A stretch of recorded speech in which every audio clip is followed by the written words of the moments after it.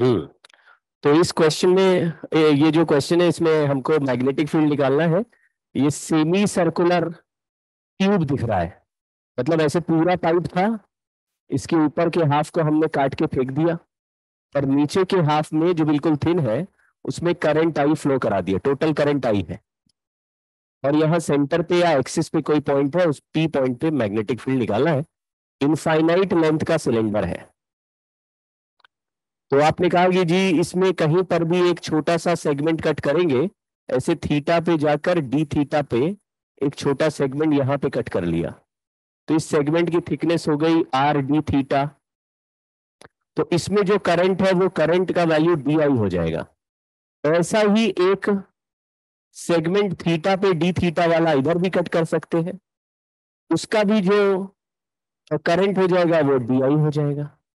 जब ये दो एक जैसे वायर एक ही प्लेन में हो और उनके बीच में परपेंडिकुलर डिस्टेंस में मैग्नेटिक फ़ील्ड निकालना हो तो करंट के डायरेक्शन के हिसाब से मैग्नेटिक फ़ील्ड इस परपेंडिकुलर लाइन के परपेंडिकुलर होता है तो इन दोनों के पेयर का मैग्नेटिक फ़ील्ड यहाँ पे डीबी कैलकुलेट तुरंत हो जाएगा क्योंकि इसका फॉर्मूला ऑलरेडी हमने पढ़ा हुआ है। क्या पढ़ा है? कि अगर दो वायर हो और उनमें करंट का डायरेक्शन सेम हो और इसमें भी करंट आई हो इसमें भी करंट आई हो तो इन दोनों वायर के बीच के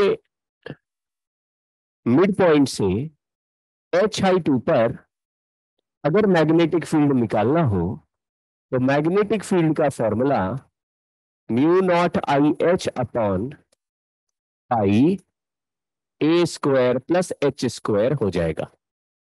ऐसे ही यहाँ पे अगर आर रेडियस का ये पॉइंट है तो ये आर है तो यहाँ पे आर साइन थीटा और परपेंडिकुलर हाइट का वैल्यू आर कॉस थीटा हो जाएगा। तो डीबी मैग्नेटिक फ़ील्ड दो डी की वजह से लिखेंगे mu naught I H upon pi under root of A square plus H square which is R square वो R square sine square theta plus R square cos square theta हो जाएगा। Are square हो जाएगा। ये हमारा magnetic field आ गया, इसमें D का value total current upon total length I upon pi R into small segment का length which is R D theta तो I D theta by pi यहाँ पे लिख देंगे, यहाँ लिख रहे हैं। तो मैग्नेटिक फ़ील्ड का इंटीग्रेशन करेंगे तो I D theta by pi और यहाँ पे आ गया पाई आर और आगे है कॉस थीटा लेकिन अब इंटीग्रेशन में दो लोगों का मिला के मैग्नेटिक फ़ील्ड मैंने डीबी लिखा है तो केवल आधा सर्कल ही इंटीग्रेट किया जाएगा। पूरा, एक मिनट। पूरा सर्कल इंटीग्रेशन नहीं करना चाहिए। पूरा सर्कल इंटीग्रेशन नहीं करेंगे। क्योंकि दो लोगों का मिला के एक फ़ील्ड का वैल्यू इंटीग्रेट कर रहे हैं। तो आधे सर्कल को ही इंटीग्रेट करेंगे, इसलिए ज़ीरो से पाई बाई टू ज़ीरो से पाई बाई टू इंटीग्रेट करेंगे तो कॉस थीटा डी थीटा का इंटीग्रेशन वन हो जाएगा।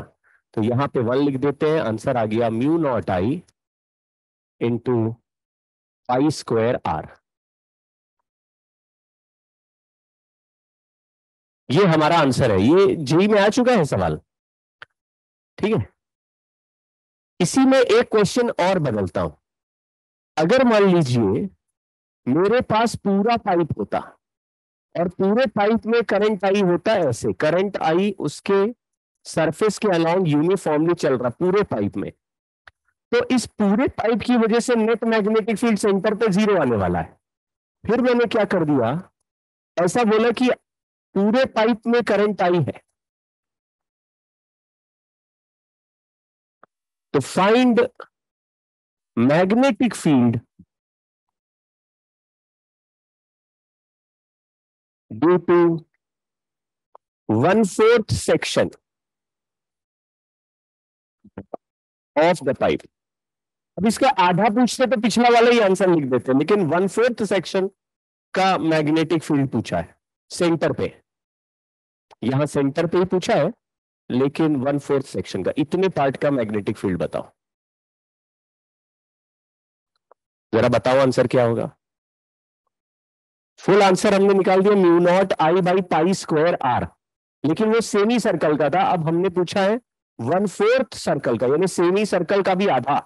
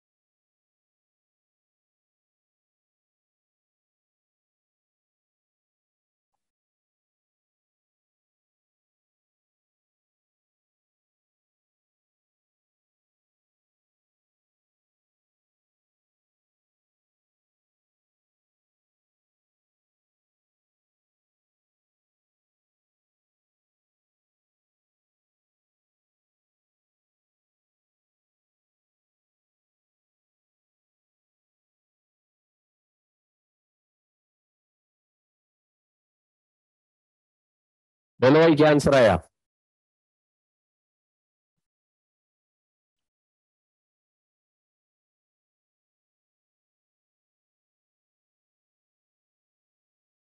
एक तो अगर सेमी सर्कल का ही रिज़ल्ट पूछा जाता इस बार तो सेमी सर्कल का करंट आई बाई टू हो जाता।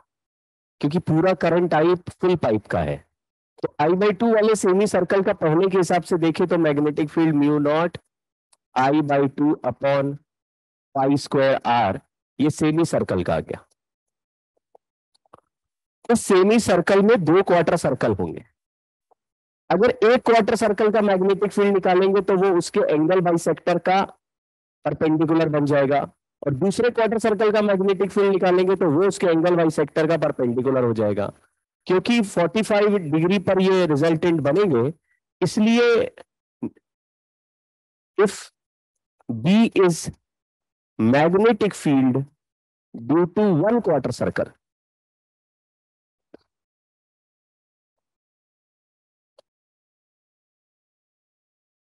तो सेमी सर्कल का मैग्नेटिक फ़ील्ड दो क्वार्टर सर्कल का है।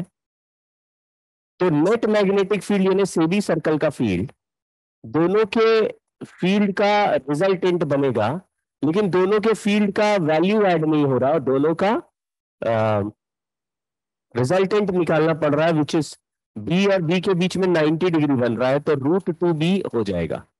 सेबी सर्कल का फ़ील्ड हमको पता है mu naught I by two upon pi square R और इसको हम रूट टू बी के इक्वल कर देंगे तो एक सेमी सर्कल का मैग्नेटिक फ़ील्ड आ जाएगा mu naught I by two root two pi square R थोड़ा दिमाग लगाओ भाई।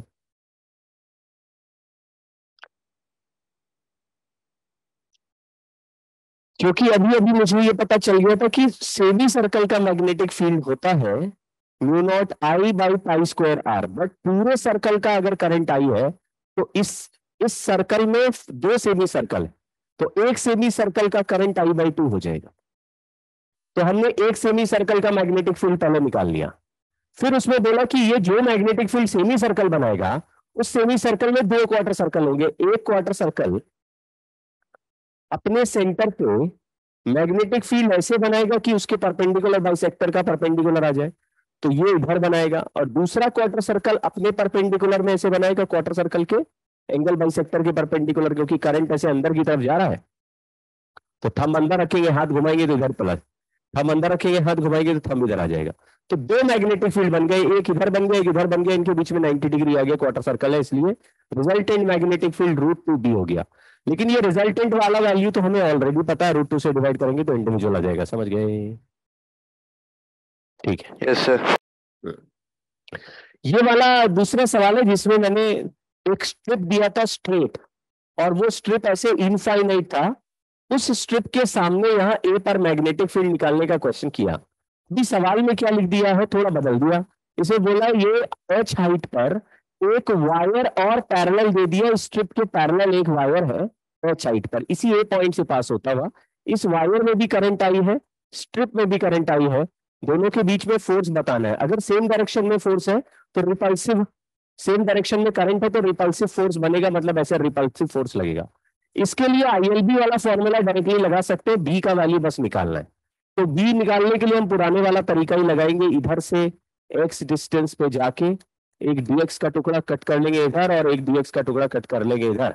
इस करंट डी को लिख देंगे, यहाँ भी करंट डी है। दोनों की वजह से बीच में मैग्नेटिक फ़ील्ड का फॉर्मूला डी अभी अभी किया। Mu naught I H upon pi A square plus H square अब DI की जगह लिख देंगे I by two A into D X H mu naught A sorry X square plus H square pi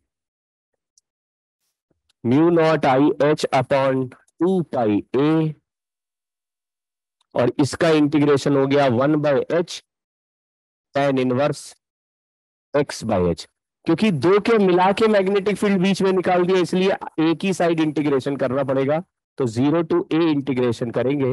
zero पे tan inverse का value zero हो जाएगा ए पे एक्स की जगह ए आ जाएगा। तो आंसर आ गया mu naught I by two pi A tan inverse A by H ये तो हुआ मैग्नेटिक फ़ील्ड का आंसर और इस मैग्नेटिक फ़ील्ड में एक वायर रखा मैग्नेटिक फ़ील्ड ऐसे चल रहा होगा स्ट्रिप के पैरेलल में। और करंट इधर जा रहा है डीएल क्रॉस बी कर देंगे। तो फोर्स तो अट्रैक्टिव हो जाएगा। करंट सेम डायरेक्शन में फोर्स नीचे की तरफ़ अट्रैक्टिव तो फोर्स का आंसर आ जाएगा I L B unit length के लिए लेना है क्या? पर यूनिट लेंथ लिखा हुआ है, इसलिए एल की जगह वन रख देंगे। आई एल बी एल की जगह वन और सेम आंसर एक आई और मल्टीप्लाई हो जाएगा।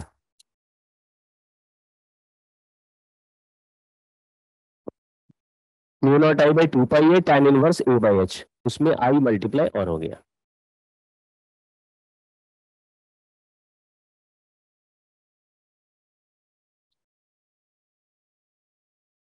Sir hmm. सर इस स्ट्रिप को छोटे छोटे रॉड बना के इंटीग्रेट नहीं कर सकते थे? छोटे छोटे रॉड बना के तो किया है। ये जो एक्स पे डीएक्स लिया इससे एक्स पे डीएक्स लिया तो ये पूरा एक पतला रॉड ही तो हो गया। अच्छा ऐसे बोल रहे हो ऐसे ऐसे? यस सर हाँ ऐसे ऐसे में तो बहुत ही दिक्कत आती। क्योंकि हर जगह पर मैग्नेटिक फ़ील्ड फिर अलग अलग डायरेक्शन में आता और करंट जो है वो इधर की तरफ़ फ्लो कर रहा है इधर। तो इसमें करंट कैरिंग वायर ये वाला नहीं होके इधर ही लेना पड़ता समझ गए क्या? तो कोई सेंस नहीं बनता। मतलब अगर स्ट्रिप ऐसे लिया और करंट उधर जा रहा है तो फिर करंट को ही डीएल लेते ना तो फिर इसमें डीएल फिर लेना पड़ेगा। कुछ समझ में आया क्या बोला मैंने? यस सर यस तो कुछ मज़ा आएगा नहीं।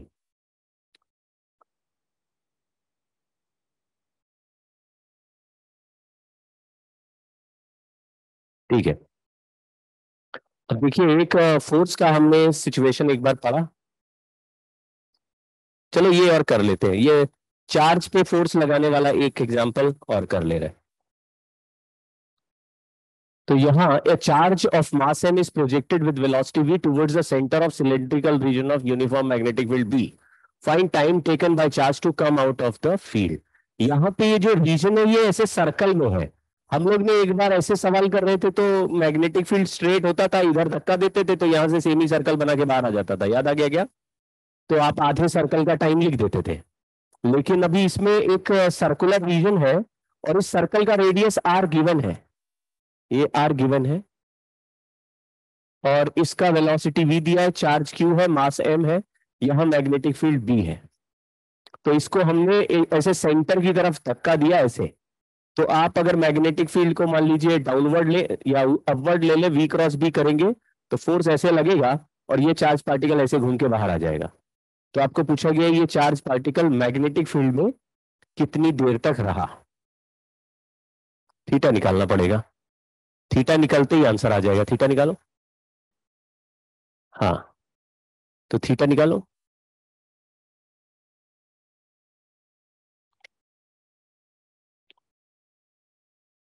वैसे सवाल केवल ज्योमेट्री पर बेस्ड है। आपको दो सर्कल आपस में इंटरसेक्ट करते हुए दिख रहे हैं।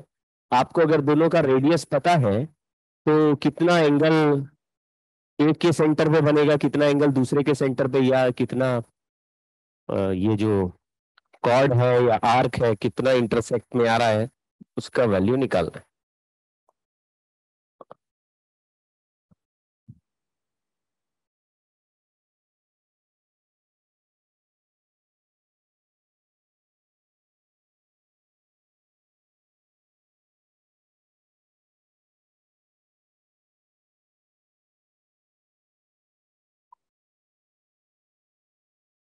हाँ भाई, बताओ। सर नाइन्टी होगा क्या? नहीं। यहाँ पे 90 ये तो एंगल 90 है क्योंकि वेलोसिटी तो रेडियस के परपेंडिकुलर होती। तो यहाँ पे ऐसे टेंजेंट ड्रॉ कर दिया और यहाँ बाहर निकलते समय भी टेंजेंट ड्रॉ कर दिया। तो ऐसे बन गया। बहुत इजी है। इधर भी 90 डिग्री बन जाएगा, इधर भी एंगल 90 डिग्री बन जाएगा।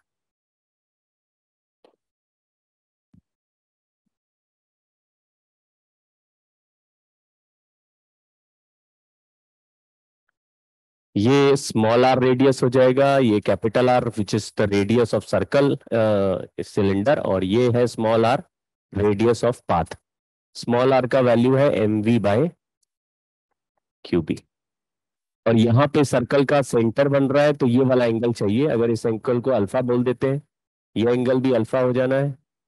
तो अल्फ़ा के सामने ये राइट एंगल ट्राइंगल बन गया है। ये कैपिटल आर है, ये स्मॉल आर है।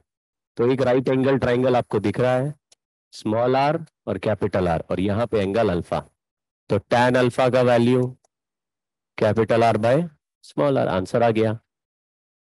तो time in magnetic field is 2 alpha m by qb 2 alpha की जगह लिख दिया tan inverse r by mv by qb m by qb देख लो भाई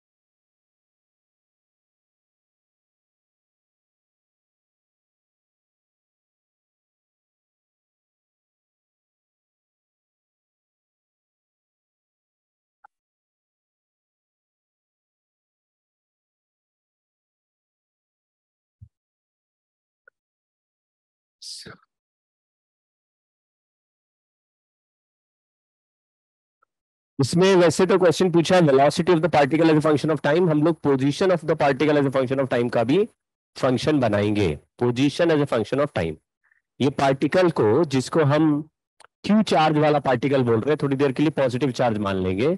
लिखा हुआ particle of mass and charge Q is moving in a region where uniform constant electric field E I cap and B K cap are present at time T equal to zero particle is release from rest at origin तो particle initially origin पे था और वहाँ से उसको release कर दिया।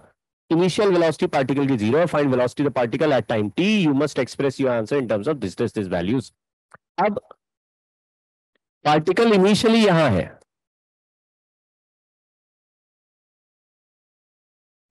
तो और इनिशियल वेलोसिटी ज़ीरो है। तो इनिशियल पॉइंट पर जो फोर्स लगेगा वो किस डायरेक्शन में लगेगा? आप कहेंगे भाई वेलोसिटी ज़ीरो होता है तो मैग्नेटिक फोर्स तो नहीं लगता। लेकिन इलेक्ट्रिक फोर्स तो हमेशा लगता है। तो अगर मैं आपको पूछूँ कि at T equal to zero particle का एक्सेलरेशन कितना होगा और किस तरफ़ होगा बता सकते हो? Sir Q E by M I cap I cap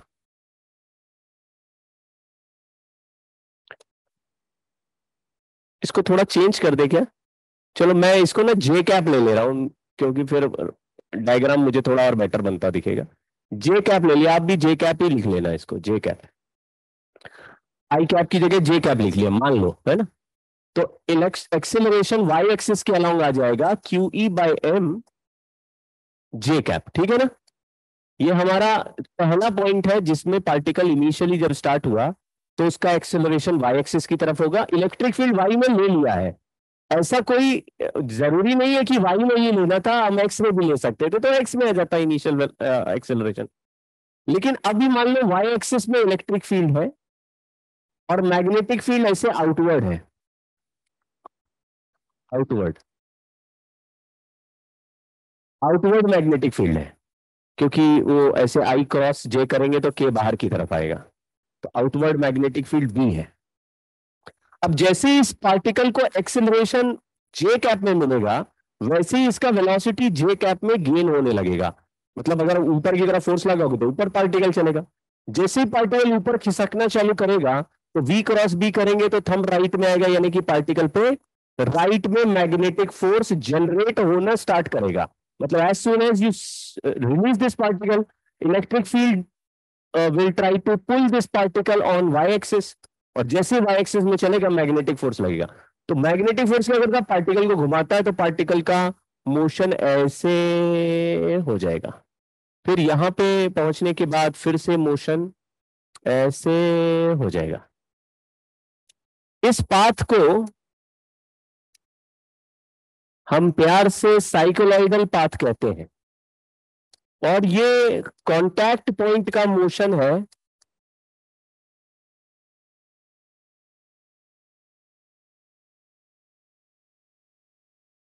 जो रोल करता है ऑन ग्राउंड अगर कोई पहिया ग्राउंड पे रोल करे तो उसका कांटेक्ट पॉइंट ऐसे ही रास्ते पे चलता है। वो पहले ज़मीन पे रहता है जैसे जैसे पहिया आगे चलता है वैसे वैसे कांटेक्ट पॉइंट ऊपर उठता है। ऊपर उठ के किसी मैक्सिमम हाइट टू आर पे जाके और पहिया जैसे जैसे घूमता जाता है तो ये जो कॉन्टैक्ट पॉइंट है, यानी ज़मीन पे बैठा हुआ पॉइंट है, वो धीरे धीरे पहले ऊपर उठेगा, ऊपर उठ के यहाँ ये वाले टू आर हाइट तक पहुंचेगा और उसके बाद फिर धीरे धीरे नीचे आएगा क्योंकि जैसे जैसे पहिया घुमाते जाओगे, ये पॉइंट ऊपर जाएगा, ऊपर जाके मैक्सिमम पहुंचेगा, फिर ये नीचे आएगा। तो आप बोलेंगे ये ऐसे घूम के यहाँ पे पहुँच जाएगा। ये डिस्टेंस को बोलते हैं टू पाई आर ये हाइट को बोलते हैं टू आर ये पाथ को बोलते हैं साइकोलॉइडल पाथ इसका टोटल डिस्टेंस होता है एट आर तो ये जो इलेक्ट्रॉन सॉरी चार्ज क्यू हमने बनाया? ये चार्ज हमेशा इसी तरह के पाथ को रिपीट करता हुआ बार बार चलता रहेगा। फिर इसके बाद ऐसे। साइकोलॉइडल पाथ है। लेकिन पाथ तो है, इसमें एक्स वाई का इक्वेशन भी हमको बनाना पड़ रहा है। X as a function of time Y as a function of time as well as velocity as a function of time तो मैंने आपको दो मेथड्स सिखाए मतलब एक मेथड सिखाया। एक मेथड ये बताया कि अगर आपको कभी भी इलेक्ट्रिक और मैग्नेटिक फ़ील्ड दोनों किसी भी चार्ज पे एक साथ आ जाए तो आप जनरल सॉल्व कर लो। जनरल मतलब वेलोसिटी का फॉर्मूला क्या लिख दो?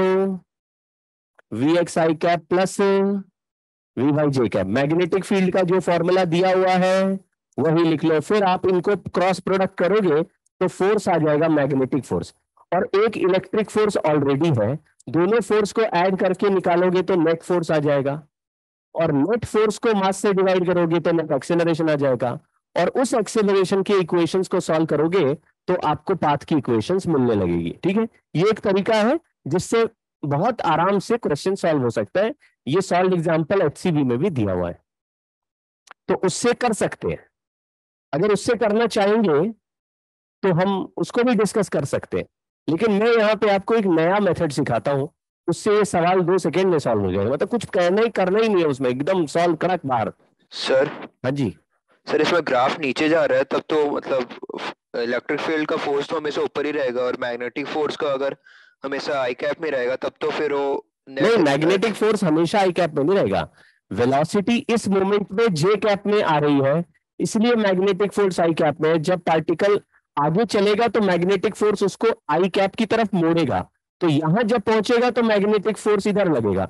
यहाँ जब पहुंचेगा तो मैग्नेटिक फोर्स इधर लगेगा। यहाँ जब पहुंचेगा तो मैग्नेटिक फोर्स इधर लगेगा। यहाँ जब पहुंचेगा तो मैग्नेटिक फोर्स इधर लगेगा। कुछ समझ में आ रहा है क्या? जिस समय पर देखोगे, उस समय की वेलोसिटी के परपेंडिकुलर मैग्नेटिक फोर्स लगता है। तो मैग्नेटिक फोर्स एक्स में नहीं लग रहा। ये पार्टिकल वाई में जा रहा है तो इलेक्ट्रिक फ़ील्ड इसको वाई में खींचेगा और मैग्नेटिक फ़ील्ड इसको घुमाने की कोशिश करेगा। तो पार्टिकल वाई में चलना स्टार्ट कर रहा है और मैग्नेटिक फ़ील्ड घुमाना स्टार्ट कर रहा है। तो मैग्नेटिक फ़ील्ड तो उसके साथ साथ मतलब फोर्स तो उसके साथ साथ घूमता जाएगा तो वो वाई में भी लगेगा ऐसे पीछे भी लगेगा, आगे भी लगेगा। ठीक है क्या? मैग्नेटिक फोर्स तो क्रॉस प्रोडक्ट से बन रहा है और क्रॉस प्रोडक्ट वेलोसिटी के परपेंडिकुलर ही आएगा। इसका मतलब है मैग्नेटिक फोर्स हमेशा वेलोसिटी के डायरेक्शन को चेंज करता रहेगा। लेकिन जब ये वाई एक्सिस पे ऊपर चल रहा होगा, यानी कि ओरिजिन से हमने स्टार्ट किया, यहाँ तक जब तक ऊपर जा रहा है, तब तक इलेक्ट्रिक फ़ील्ड के डायरेक्शन में डिस्प्लेस हो रहा है। तो इलेक्ट्रिक फ़ील्ड के डायरेक्शन में डिस्प्लेस होगा। तो वेलोसिटी इंक्रीज होगी। लेकिन जब ये ऊपर पहुँच जाएगा तो मैग्नेटिक फोर्स नीचे लग रहा होगा, क्योंकि ऊपर पहुँचने पर यहाँ पर वेलोसिटी ऐसा हॉरिजॉन्टल है, और फोर्स मैग्नेटिक फोर्स ज़्यादा है तो ये नीचे घुमाने लगेगा।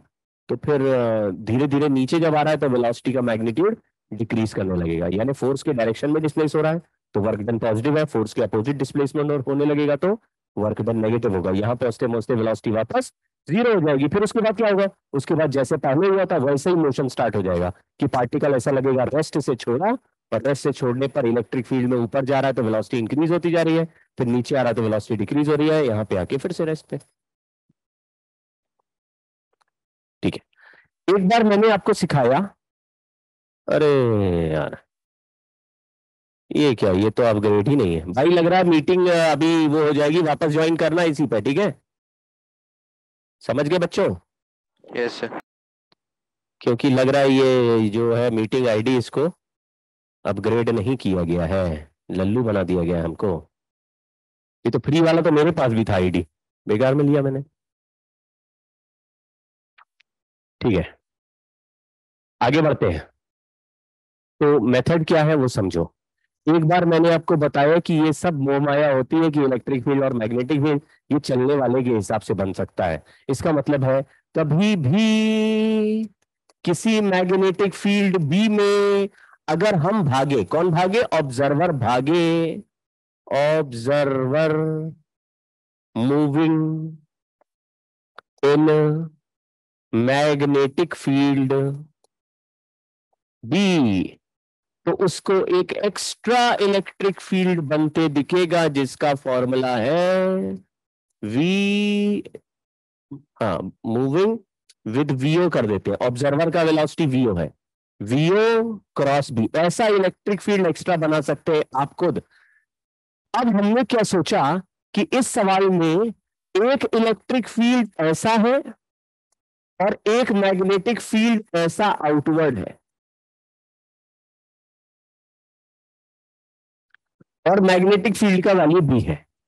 तो मैंने क्या सोचा, अगर हम भागेंगे किसी नॉर्मल वेलोसिटी से और ऐसा वेलोसिटी से भागेंगे जिससे मेरे को नया इलेक्ट्रिक फ़ील्ड बनते हुए दिखे तो मैंने क्या सोचा, अगर हम राइट में भागते हैं ऑब्जर्वर है हम और राइट में हमको वेलोसिटी दे देना है वीओ तो मान लीजिए मैं वीओ वेलोसिटी से भागू तो मेरे को एक नया इलेक्ट्रिक फ़ील्ड बनते हुए दिखेगा, इसको कह रहे एक्स्ट्रा इलेक्ट्रिक फ़ील्ड या ऑब्ज़र्व इलेक्ट्रिक फ़ील्ड ये हमें दिखेगा क्योंकि हम भाग रहे हैं मैग्नेटिक फ़ील्ड में। तो मैंने कहा, अगर मैं राइट में भागूँगा और मैग्नेटिक फ़ील्ड आउटवर्ड है तो वी क्रॉस बी करेंगे तो हम नीचे, यानी नीचे की तरफ़ एक इलेक्ट्रिक फ़ील्ड बनेगा, जिसका वैल्यू है एक्स्ट्रा इलेक्ट्रिक फ़ील्ड और उसका आंसर आएगा वीओ क्रॉस बी अब क्रॉस प्रोडक्ट है, लेकिन हमने एंगल 90 ले रखा है तो वीओ इंटू बी आ जाएगा।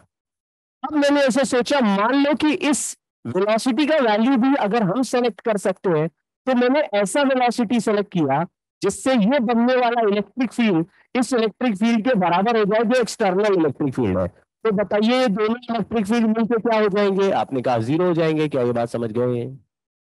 ठीक है। मान लो कहीं पर पहले से 50 का इलेक्ट्रिक फ़ील्ड मौजूद है, और परपेंडिकुलर डायरेक्शन में कुछ मैग्नेटिक फ़ील्ड भी मौजूद है। तो मैग्नेटिक फ़ील्ड में भागने से इलेक्ट्रिक फ़ील्ड बनता है, हमें दिखता है।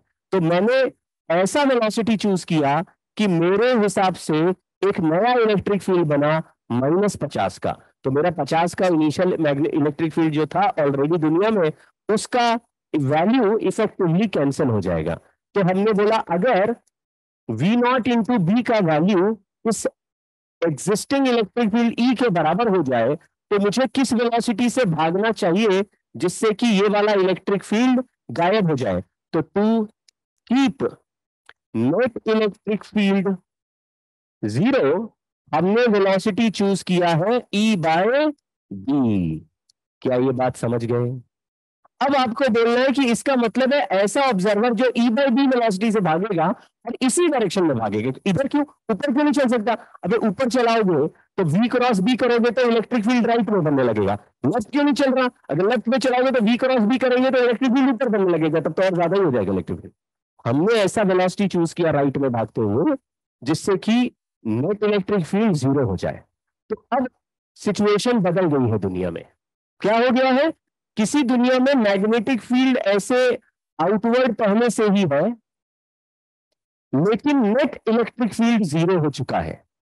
तो अब बताइए, अगर इलेक्ट्रिक फ़ील्ड है ही नहीं, और ओरिजिन पे एक पार्टिकल इनिशियली जिसको रेस्ट से छोड़ा था अगर हम वी वेलोसिटी से वी नॉट वेलोसिटी जिसका वैल्यू ई बाई बी से भागेंगे और फिर चार्ज को देंगे, देखेंगे तो चार्ज के पास इनिशियल वेलोसिटी हमें दिखेगा। Initial velocity of charge observed is E by B towards left left का मतलब है माइनस आई कैप की तरफ़ दिखेगा। हम चल रहे हैं आई कैप तो चार्ज के पास इनिशियल वेलोसिटी हो गया माइनस आई कैप क्या ये बात समझ गए? Yes, देखो हम पूरा सवाल किस रेफरेंस फ्रेम से सॉल्व कर रहे हैं अब? ऑब्जर्वर एक्स एक्सिस में भाग रहा है उस ऑब्जर्वर से पूछ रहे तुम्हें क्या दिख रहा है? तो उस वो ऑब्जर्वर कह रहा है हमको मैग्नेटिक फ़ील्ड तो दिख रहा है क्यों कैप में? लेकिन इलेक्ट्रिक फ़ील्ड अब कोई नहीं दिख रहा है। इलेक्ट्रिक फ़ील्ड है ही नहीं इस दुनिया में। तो फिर क्या क्या फ़ील्ड है? केवल मैग्नेटिक फ़ील्ड है। और मैंने बोला what is initial velocity of the charge तो उसने बोला चार्ज ओरिजिन पे तो ज़रूर है, लेकिन velocity of the charges towards minus I cap और ये, उसको वही वेलोसिटी दिख रही है, जो ई बाई बी हमको हमारे ऑब्जर्वर को मिली हुई है। तो उस ऑब्जर्वर से पूछो कि अगर एक चार्ज को initial velocity E by B दे दिया जाए तो और केवल मैग्नेटिक फ़ील्ड बी के कैप में रख दिया जाए तो क्या ये चार्ज कैसे मोशन में चलेगा बता सकते हैं? तो आपने कहा, बड़ा आसान है, अगर किसी चार्ज को मैग्नेटिक फ़ील्ड के परपेंडिकुलर इनिशियल वेलोसिटी v से फेंक दोगे तो वो एक सर्कल में चलेगा और सर्कल का रेडियस हो जाएगा M V by Q B कुछ याद आया क्या? अगर हम v क्रॉस b करें तो फोर्स ऊपर की तरफ़ लगेगा इस मोमेंट पे मैग्नेटिक फोर्स यानी यहाँ कहीं सेंटर होगा और पार्टिकल हमें किस पाथ पे चलता हुआ दिखाई देगा? सर्कुलर पाथ पे। अरे।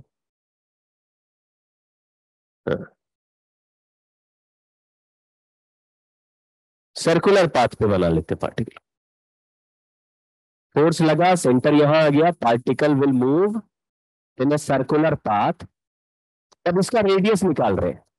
तो radius of path observed path मतलब circle observed by the observer is M V by QB M V by QB अब ये रेडियस आ गया।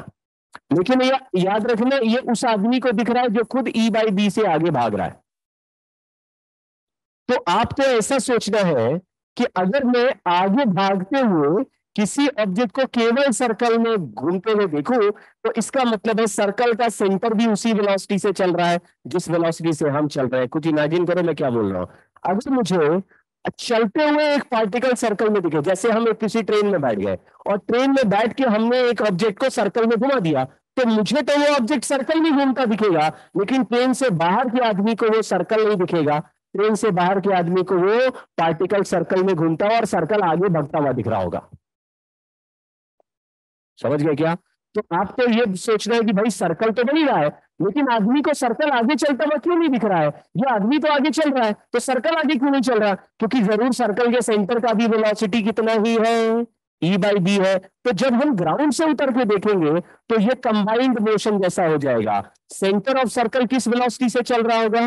ई बाई बी से और पार्टिकल सर्कल के सेंटर के अबाउट घूम रहा होगा इसी ई बाई बी वेलोसिटी से सर्कल में। तो ये रोलिंग वाला इमोशन हो गया कि आपको रोलिंग याद है कि सेंटर का वेलोसिटी वी हो और पार्टिकल ये जैसे अगर मैं ओमेगा बोल दूँ तो omega is equal to V by R हो गया और सेंटर का वेलोसिटी भी वी हो गया तो ये कॉन्टैक्ट पॉइंट रेस्ट पे आ जाएगा। क्या ये बात समझ में आ रहा है आपको? ग्राउंड से उतर के देखोगे तो ट्रांसलेशन मोशन भी वी है और रोटेशन मोशन के हिसाब से भी वो स्पीड क्या मिलेगी पीछे वी तो कॉन्टैक्ट पॉइंट रेस्ट पे दिखेगा। लेकिन अगर तुम सेंटर में बैठ के देखोगे तो सेंटर रेस्ट पे दिखेगा। जैसे इस ऑब्जर्वर को सेंटर रेस्ट पे दिख रहा है और ये पार्टिकल सर्कल में घूमते हुए दिख रहा है। आई होप थोड़ा थोड़ा समझ में आ रहा है आप लोगों को? Yes sir hmm. तो हमने अभी देखो सवाल कितना आसानी से सॉल्व हो गया। अब कोई बोलता है सर इसमें वेलोसिटी तो आप बता ही नहीं रहे। तो वेलोसिटी हाँ फटाफट कर लेते हैं। तो आपने कहा भाई ये सर्कल में घूम रहा है ई बाई बी से। तो किसी भी टाइम पर अगर ये थीटा एंगल घूम जाए तो इस मोमेंट पर वेलोसिटी इस डायरेक्शन में होगी। अगर मैं यहाँ 90 लिख दूँ या थीटा लिख दूँ, या 90 माइनस थीटा तो ये एंगल थीटा हो जाएगा। तो इसके वेलोसिटी का horizontal component V cos theta और vertical component V sine theta हो जाएगा। अब ये इस ऑब्जर्वर को दिख रहा है जो खुद एक्स एक्सिस में चल रहा है ई बाई बी से। वेलोसिटी की वैल्यू भी है ई बाई डी तो मैं आपको अभी बोल रहा हूँ velocity with respect to observer with respect to observer दो वेलोसिटी आया। वाई डायरेक्शन में वेलोसिटी आया। V साइन थीटा v की जगह लिख दिया e बाई बी और साइन थीटा की जगह लिख दिया साइन ओमेगा टी ओमेगा का वैल्यू हम ओमेगा का वैल्यू हम v बाय आर से निकाल सकते हैं। और v का वैल्यू तो e बाई बी है और r का value M V by Q B है। तो आप इसको सॉल्व करेंगे तो क्यू बी बाई एम आ जाएगा, ये ओमेगा का वैल्यू तो हमारा एक आंसर तो आया velocity along Y axis is E by D sine Q B by M into T ये डायरेक्टली देखिए सॉल्व हो गया। और एक्स एक्सिस का वेलोसिटी आया minus V cos omega T तो E by D cos omega की जगह लिख दिया Q B by M into T लेकिन ये दोनों वेलोसिटी ऑब्जर्व्ड बाय ऑब्जर्वर है। बट ऑब्जर्वर खुद किधर चल रहा है? हाँ। ये जो पार्टिकल है, ये सर्कल में घूम रहा है हमारे ऑब्जर्वर के रिस्पेक्ट में। तो ये ऑब्जर्वर से पूछेंगे, ये पार्टिकल का वेलोसिटी किधर है? तो बोलेगा टेंजेंशियल वेलोसिटी है किसी भी मोमेंट पे। किसी भी मोमेंट पे टेंजेंशियल वेलोसिटी से पार्टिकल सर्कल में घूम रहा है। तो ये टेंजेंशियल वेलोसिटी का जो डायरेक्शन है, वो ऐसे सर्कल के, ऐसे परपेंडिकुलर बनाया, हमने कोई भी थीटा एंगल घुमा दिया टी टाइम के बाद। तो टी टाइम में थीटा एंगल घूमेगा तो हॉरिजॉन्टल में वी कॉस थीटा वर्टिकल में वी साइन थीटा हो जाएगा। तो मैंने वाई डायरेक्शन का वेलोसिटी वी साइन थीटा लिख दिया और एक्स का लिख दिया माइनस वी कॉस थीटा इन दोनों वेलोसिटी को ये ऑब्जर्वर देख रहा है। तो अगर विद रिस्पेक्ट टू ग्राउंड पूछोगे तो आप ऑब्जर्वर का वेलोसिटी और ऐड कर दोगे, ये हमने पहले सीखा हुआ है कि जो रिलेटिव वेलोसिटी दिखता है, उसमें ऑब्जर्वर का वेलोसिटी और ऐड कर दे या रामलाल का वेलोसिटी ऐड कर दे तो total velocity with respect to ground आ जाएगा। तो अगर हम विद रिस्पेक्ट टू ग्राउंड निकालेंगे तो ऑब्जर्वर का velocity E by B I cap और ऐड कर देंगे। लेकिन आई कैप ऐड करेंगे तो केवल एक्स वाले में ही डिफरेंस आएगा। तो मैं वाई वेलोसिटी और एक्स दोनों लिख रहा हूँ। तो एक्स वेलोसिटी आ जाएगा E by B minus E by B cos omega T omega का वैल्यू ऑलरेडी पता है और वाई का वैल्यू आ जाएगा E by B sine omega T ये देखिए वेलोसिटी के आंसर आ गए। अब वेलोसिटी को अगर dx बाई डी टी एक मिनट अगर वेलोसिटी को dx बाई डी टी और dy बाई डी टी लिख दो तो dx by D T is equal to E by B minus E by B cos omega T है। तो dt से ऊपर ले जाके इंटीग्रेट करोगे तो x as a function of time आ जाएगा। ऐसे ही dy by D T velocity of Y axis को लिख दे तो ये E by B sine omega T है। इसको अगर इंटीग्रेट कर देंगे टाइम के साथ तो Y as a function of time आ जाएगा। तो आगे का इंटीग्रेशन तो इजी है। यहाँ पे ये जो बात है ये तुरंत सॉल्व हो रही है। इसके लिए हमको कोई भी इक्वेशन या कोई भी जनरल इक्वेशन बनाना नहीं पड़ा। मतलब ना क्रॉस प्रोडक्ट करना पड़ा, ना जनरल वेलोसिटी एक्सेलरेशन निकालने पड़े, ना एक्सेलरेशन को आपस में सॉल्व करना पड़ा, ना फर्दर इंटीग्रेशन करना पड़ा। हालाँकि इसमें एस जैसा कॉन्सेप्ट बनता है, जब आप एक्सेलरेशन का नॉर्मल तरीके से वैल्यू निकालते हैं तो दो इक्वेशंस बनेगी, एक एक्स एक्सिस का एक्सेलरेशन एक वाई का, और वो एस एच एम जैसा रिलेशन बनेगा, जिससे साइनोसोइडल फ़ंक्शन अपने आप जनरेट होगा। लेकिन ये मतलब वो रास्ता लंबा रास्ता है। तो आप इसको ना ये सॉल्व एग्ज़ाम्पल मैं दूसरे तरीके से इसलिए नहीं करा रहा हूँ, क्योंकि फिर ज़्यादा कंफ्यूजन है, हमारा मेथड डाइल्यूट होता है। तो सॉल्व एग्ज़ाम्पल एच में है तो एक बार एच में कैसे सॉल्व किया गया है, उसमें देखना आप। और फिर मतलब एच का यही चैप्टर देखोगे तो उसमें लास्ट सॉल्व एग्ज़ाम्पल है। तो उसमें देखना कैसे सॉल्व किया गया है, और हमने क्या किया? हमने अगर एक ऑब्जर्वर को भगाया तो उसकी वजह से बनने वाला electric field existing electric field को कैंसिल कर गया जिससे नेट इलेक्ट्रिक फ़ील्ड ज़ीरो हो गया और पार्टिकल के पास वही इनिशियल वेलोसिटी आ गया, जिस इनिशियल वेलोसिटी से ऑब्जर्वर चलना स्टार्ट किया है। तो फिर पार्टिकल उसी इनिशियल वेलोसिटी से मैग्नेटिक फ़ील्ड में फेंका गया है, ऐसा दिखने लगा। अब किसी पार्टिकल को मैग्नेटिक फ़ील्ड के परपेंडिकुलर फेंकोगे तो वो सर्कल बनाएगा, ये हमको ऑलरेडी पता है। तो फिर मैंने पार्टिकल को किस मोशन में घुमा लिया? सर्कल में घुमा लिया।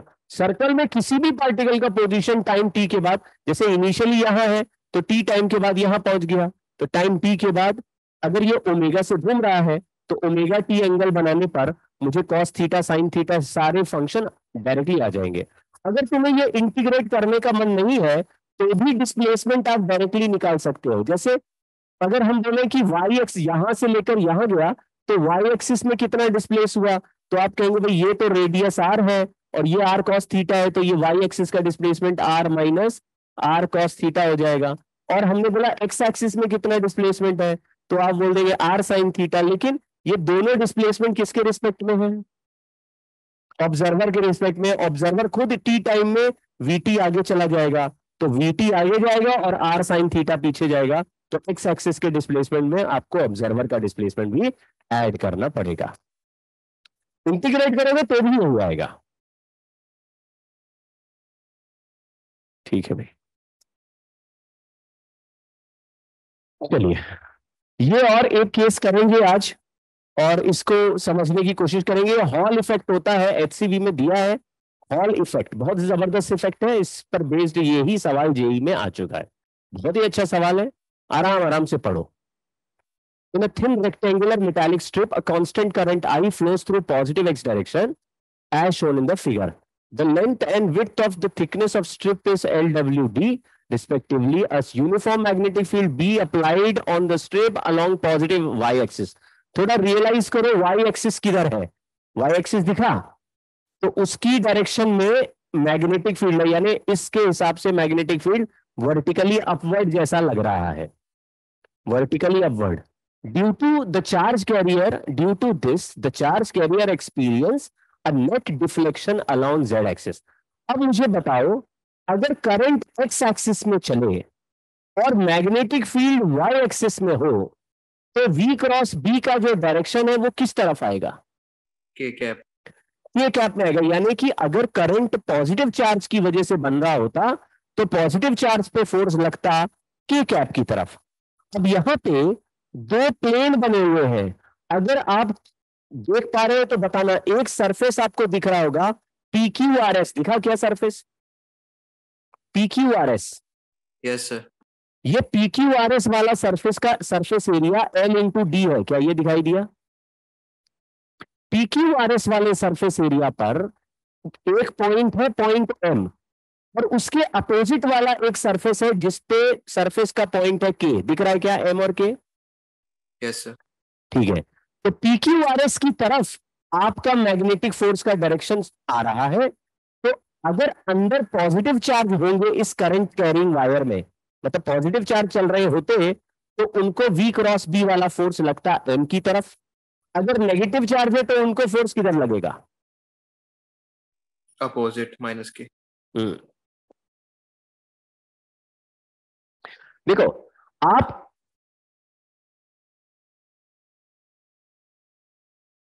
अगर नेगेटिव चार्ज होगा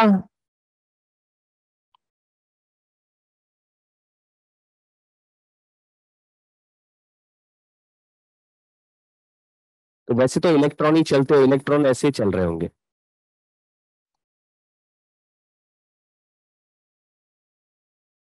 मतलब थोड़ा दिमाग लगाना अभी आप लोग, है ना?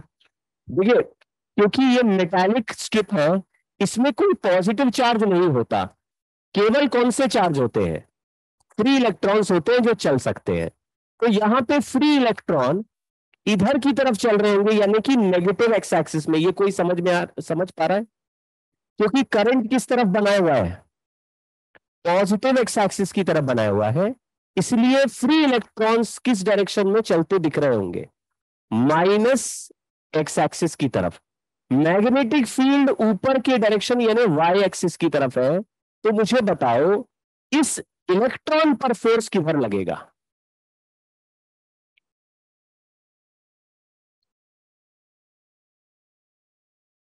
इलेक्ट्रॉन पर फोर्स किधर लगेगा? बोलो।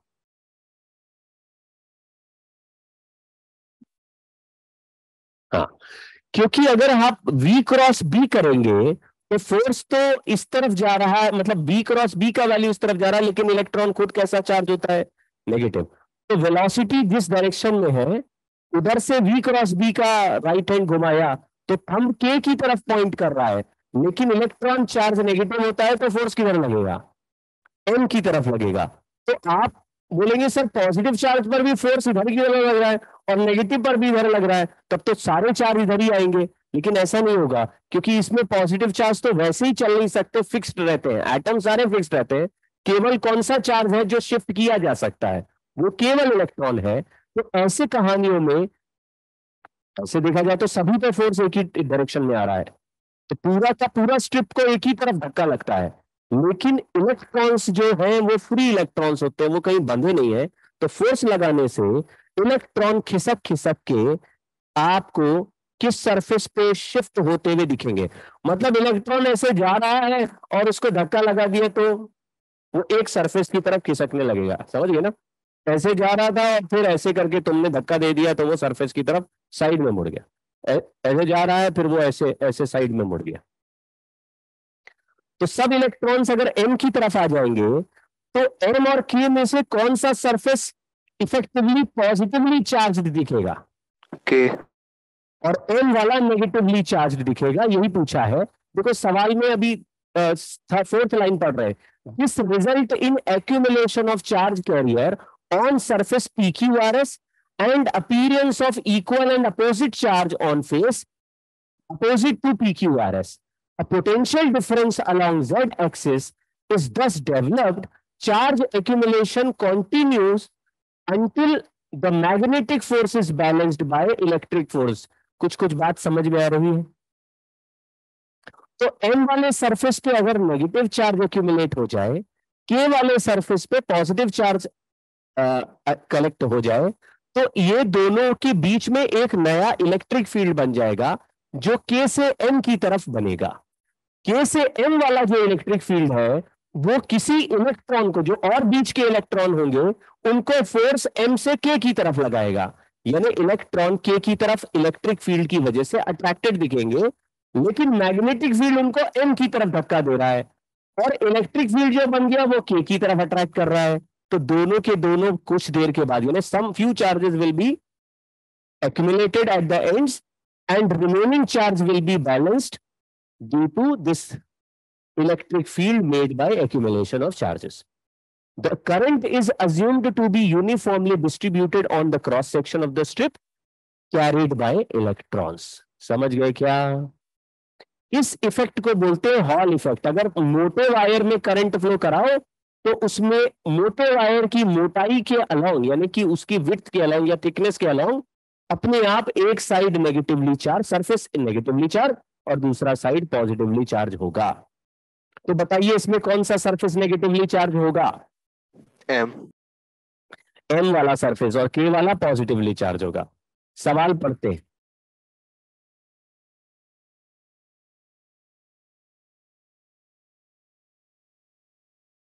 एक मिनट। एक सवाल लग रहा है, इसका गायब हो गया। चलिए, कोशिश करते हैं। There are two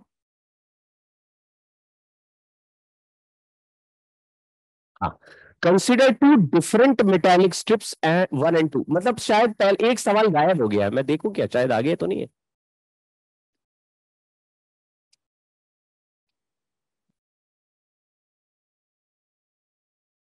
कहीं गायब हो गया एक सवाल। एक सवाल शायद यही पूछा गया था कि हायर पोटेंशियल पे कौन है एम या के हायर पोटेंशियल पे कौन है एम या के के के हायर पोटेंशियल पे क्यों है? पॉजिटिव चार्ज है। हाँ के पर पॉजिटिव चार्ज है। इलेक्ट्रिक फ़ील्ड के से एम की तरफ़ चल रही है। इसका मतलब इलेक्ट्रिक फ़ील्ड चलती है हायर से लोअर तो के से एम चल रही तो इलेक्ट्रिक फ़ील्ड के को हायर और बी एम को लोअर पोटेंशियल बनाएगी। ये शायद पहला पार्ट था। दूसरा पार्ट लिखा consider two different metallic strips one and two मतलब बिल्कुल दो अलग अलग सिमिलर डायग्राम आपको इमेजिन करने हैं of same material their lengths are same. Widths are w1 and w2 thicknesses are d1 and d2 respectively. Two points k and m are symmetrically located on opposite faces parallel to xy plane xy plane के parallel k वाला plane है और m वाला है ठीक then for given current i flowing through them in a given metallic uh, given magnetic field strength B, the correct statements are if W1 equal to W2, D1 equal to 2D2, then V1 is two to 2, V2 is equal to 2V1. अब देखो इसमें पहले पढ़ लो V1, V2 क्या है V1 and V2 are potential difference between K and M. पहली बात तो ये कि जो करंट I दिया हुआ है वो करंट आई एक ड्रिफ्ट वेलोसिटी वीडी के प्रोपोर्शनल होगा क्या ये बात समझ गए ठीक है ना जितना करंट आई ज़्यादा होगा, उसी के हिसाब से ड्रिफ्ट वेलोसिटी बनेगा। क्योंकि बोल रहा है करंट आई दोनों में सेम फ्लो कर रहा है, देखो। Same current I given current I flowing through them तो दोनों का ड्रिफ्ट स्पीड क्या है? सेम है। अब अगर कोई charge particle electron drift velocity से चले तो उसके ऊपर जो मैग्नेटिक फोर्स लगेगा क्यू वी बी ऐसा लगेगा। इस फोर्स को हमने ई इंटू ई यानी इलेक्ट्रिक फ़ील्ड के फोर्स के बराबर कर दिया। तो इलेक्ट्रिक फ़ील्ड का value drift velocity into B ऐसा आ गया। इतनी बात समझ गए क्या? Yes, इलेक्ट्रिक फ़ील्ड क्यों निकालना चाहते हैं? क्योंकि इलेक्ट्रिक फ़ील्ड को डिस्टेंस से मल्टीप्लाई करेंगे। अब बताओ इलेक्ट्रिक फ़ील्ड किधर से किधर बन रहा है? के से एम तो के से एम के बीच में कितना गैप है जहाँ पर पोटेंशियल डिफरेंस क्रिएट होगा? के से एम के बीच में कितना डिस्टेंस है जहाँ पे पोटेंशियल डिफरेंस डब्ल्यू तो हम लोग पोटेंशियल डिफरेंस डेल्टा वी को बोल रहे हैं ई इंटू डब्ल्यू ई का वैल्यू लिख दिया ड्रिफ्ट वेलोसिटी इंटू बी और इंटू डब्ल्यू ठीक है? इस कहानी में कहीं भी डी डी नहीं आ रहा डी नहीं आ रहा देखो है ना? और इनफैक्ट इस कहानी में कहीं एल भी नहीं आ रहा। क्योंकि ड्रिफ्ट वेलोसिटी नहीं नहीं नहीं नहीं नहीं नहीं नहीं नहीं नहीं। करंट का फॉर्मूला बना रहे हैं ड्रिफ्ट वेलोसिटी उसमें ना एरिया भी आता है भाई। तो हम लोग क्या करेंगे ना? ड्रिफ्ट वेलोसिटी से नहीं कर रहे। करंट का फॉर्मूला होता है N E A V D correct है क्या? यस सर मटेरियल सेम है तो एन सेम हो जाएगा। ई e का वैल्यू सेम हो जाएगा लेकिन करंट जिस क्रॉस सेक्शन एरिया पे है उस क्रॉस सेक्शन एरिया का वैल्यू क्या है? डी डब्ल्यू हाँ तो D into W into V D तो वीडी का वैल्यू निकालने के लिए वीडी का वैल्यू इसी से उल्टा कैलकुलेट करें तो V D equal to I upon B into W हो जाएगा बाकी सब कांस्टेंट कर देते हैं बोलो। तो electric field V D into B है तो वीडी की जगह I into B into W into B into W हो जाएगा। लग रहा ऊँचा हो गया क्या? W से W कैंसिल कर दिया तो हमारा जो पोटेंशियल डिफरेंस का आंसर है, वो I into B upon D हो गया। अब जो हमने क्वेश्चन देखा फाइनली उसमें डब्ल्यू और एल नहीं आ रहे डी आ रहा है। अब बताओ कौन सा ऑप्शन सही लग रहा है?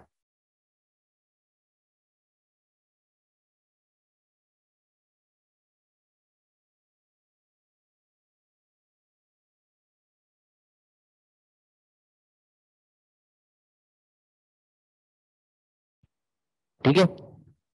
सर ए तो लिखा है W one equal to W two अब चाहे W one W two same हो या अलग हो, अगर बी वन बी टू के हिसाब से लिखे तो आई दोनों में सेम है बी दोनों में सेम है, क्योंकि डी के हिसाब से आंसर आ रहा है। तो लिखा है D one is equal to two B two तो V one V two is equal to V one ये सही लग रहा है, क्योंकि डेल्टा वी का value proportional to one by D आ रहा है तो जहाँ पे D one equal to D two करेंगे तो V one equal to V two by two हो जाएगा। तो V two equal to two V one हो जाएगा पहला ऑप्शन सही लग रहा है। और हमको तो ये चौथा ऑप्शन भी सही लग रहा है। क्या लग रहा है क्या? यस सर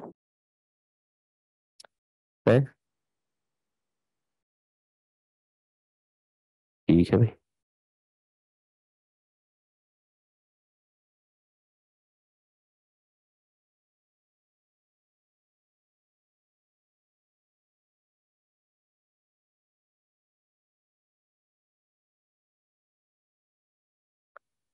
है नेक्स्ट क्वेश्चन को इसी हिसाब से करेंगे, एक बार थोड़ा सा और ध्यान से क्रॉस चेक कर लेंगे कि कहीं कोई टर्म छूट तो नहीं रहा। यहाँ पे लिखा है टू मेटालिक स्ट्रिप्स डिफरेंट है सेम डायमेंशन एल डब्ल्यू और डी सेम है। Charge carrier densities N one and N two है डिफरेंट मेटालिक स्ट्रिप्स लिख दिया। Strip one is placed in magnetic field B one strip two is placed in magnetic field B two both along positive Y direction V one V two potential difference K और M के बीच में same सवाल पूछा है लेकिन अभी current मतलब एन वन एन टू बदल दिया। और करंट सेम है ऐसा नहीं बोल रहा। नहीं assuming that the current I is same तो करंट आई का फॉर्मूला क्या हो जाएगा? एन ई ए ही लेते हैं क्योंकि एरिया अब सेम है दोनों का। एल डी और डब्ल्यू सब सेम है। तो N E A V D इससे डिफ्ट वेलोसिटी आ जाएगा आई अपॉन एन ई ए ठीक है ड्रिफ्ट वेलोसिटी आ गया। फिर इलेक्ट्रिक फ़ील्ड जो बना वो drift velocity into magnetic field बन गया और पोटेंशियल डिफरेंस बना ई इंटू डी तो ई e, ई e की जगह लिख दिया drift velocity into D into D नहीं डी नहीं डब्ल्यू डब्ल्यू सॉरी सॉरी क्योंकि जो दोनों के और एम के बीच का जो गैप है, वो डब्ल्यू है। डब्ल्यू ड्रिफ्ट वेलोसिटी की जगह लिख दिया आई अपॉन एन ई ए और बी इंटू डब्ल्यू तो ऐसा लग रहा है कि पोटेंशियल डिफरेंस का आंसर बी बाय एन के प्रोपोर्शनल आ गया। दिख रहा है क्या? अगर मैग्नेटिक फ़ील्ड सेम है और नंबर नंबर कैरियर डेंसिटी को एन वन डबल है तो वोल्टेज हाफ़ हो जाना है। मतलब कि V2 two equal to V one पहला ऑप्शन सही दिख रहा है क्या? यस सर और दूसरा गलत हो गया। तीसरा भी सही लग रहा है।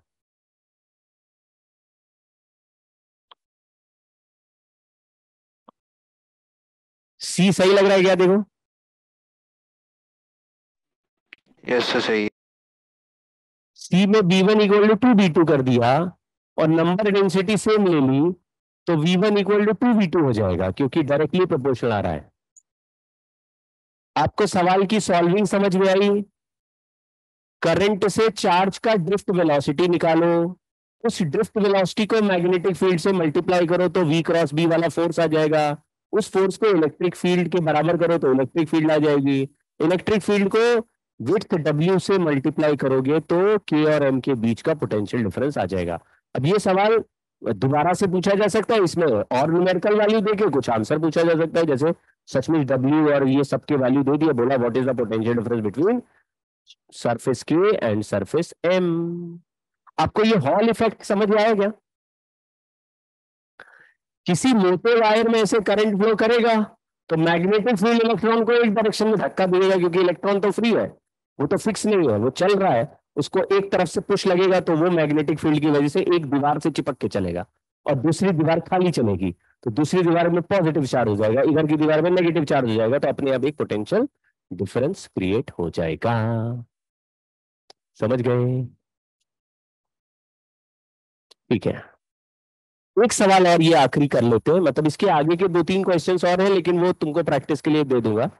एक सवाल और मुझे लगा ये डिस्कस होना चाहिए। यहाँ पे एक करंट कैरिंग वायर है जिसका, जिसमें करंट आई है और ये इनफाइनाइट वायर है और ये एक ऐसा लूप है जिसके दो दो फेस दो वायर तो सर्कल सर्कुलर आर्क वाले हैं जिसका सेंटर यही इसी पॉइंट पे जहाँ से वायर पास कर रहा है। तो ये ए बी सी डी एक लूप है। और करंट कैरिंग वायर के प्लेन के परपेंडिकुलर कैरिंग के परपेंडिकुलर प्लेन में ये लूप रखा है। पूछा है टॉर्क बताओ। क्वेश्चन में पूछा होता फोर्स बताओ तो आंसर ज़ीरो हो जाता। क्यों ज़ीरो हो जाता? क्योंकि ये अगर मैंने वायर करंट कैरिंग लिया और उसमें करंट ऐसे फ्लो कर रहा है तो सॉरी इसमें करंट ऊपर की तरफ़ आ रहा है तो मैग्नेटिक फ़ील्ड गोल बनेगा। तो गोल मैग्नेटिक फ़ील्ड बनाएँगे तो ए से बी वाले में मैग्नेटिक फ़ील्ड का डायरेक्शन और करंट का डायरेक्शन सेम हो जाएगा तो इस पे फोर्स तो ज़ीरो हो जाएगा। इस पे भी मैग्नेटिक फ़ील्ड का डायरेक्शन और करंट का डायरेक्शन कोलिनियर हो जाएगा, इस पे भी फोर्स ज़ीरो हो जाएगा। और ये वायर जितना दूर है, ये वायर भी इस स्ट्रेट वायर से उतना ही दूर है तो इन पे फोर्स बराबर लगेंगे, इस पे ज़ीरो इस पे ज़ीरो इन पे इक्वल एंड अपोजिट जैसे यहाँ देखे थम ऊपर तो यहाँ मैग्नेटिक फ़ील्ड इधर चल रहा है। इस वायर में करंट ऐसा है। तो डीएल क्रॉस बी करेंगे तो फोर्स अंदर की तरफ़ लगेगा। इसमें मैग्नेटिक फ़ील्ड इधर है। ये देखो थम ऐसे घुमाया मैग्नेटिक फ़ील्ड इधर आ गया। और वायर में करंट ऐसे बाहर चल रहा था डीएल क्रॉस बी करेंगे तो इस वायर में फोर्स अपवर्ड आ जाएगा।